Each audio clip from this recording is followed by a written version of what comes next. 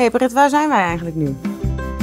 Op het werk, bij de oudjes. Hoe is het dan om met de oudjes te werken? Leuk. Ik vroeg, eh, heb je lekker gegeten vanmiddag? Ja, zeggen ze wel. En wat zijn jouw werkzaamheden hier dan? Bewoners ophalen, wasvouwen, koffierondje, nette kar. Goedemiddag, wil je koffie Ja. of thee? Eh, doe maar thee. Thee, niks erin.